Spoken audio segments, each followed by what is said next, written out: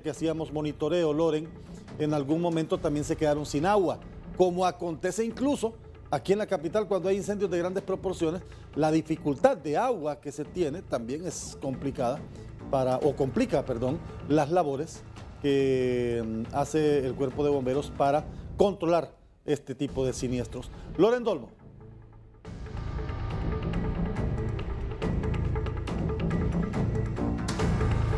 Es, buenos días. Ubicada desde las instalaciones del Cuerpo de Bomberos, siguen en aumento los incendios estructurales. Cristian, tenemos pues reportes en Intibucá. ¿Qué pasó? Buen día. Bueno, se recibió una llamada aproximadamente a las 5 y 30 de la mañana donde parte del centro de Intibucá había tomado fuego unos locales comerciales.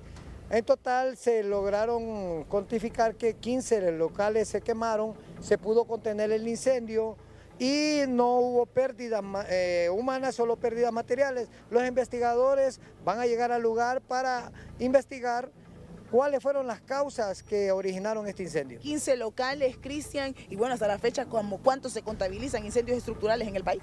Bueno, hasta este día van aproximadamente unos 315 incendios estructurales a nivel nacional en lo que va en el año 2023. Recomendaciones a la población porque esto sucede de imprevisto. Bueno, las recomendaciones es que el sistema eléctrico siempre le dé mantenimiento porque la mayoría de causas, según los investigadores, es por recalentamiento de las líneas al tener muchos aparatos en su hogar o muchos electrodomésticos que consumen electricidad y su cableado ya no da para para el flujo de electricidad que fluye por ellos. Aquí en la zona central, Cristian, ¿hay más reportes o en dónde, en qué departamentos es donde hay más incidencia de estos incendios? El Distrito Central, ayer tuvimos uno en la zona 8 de Villanueva, tuvimos otro por Suyapa, entonces siempre el Distrito Central va a la cabeza en los incendios estructurales. Excelente, muchísimas gracias, Cristian Sevilla. Vuelvo con ustedes a estudios principales.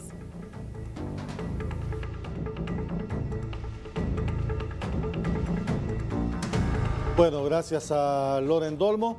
Habrá que esperar las investigaciones de la ORCID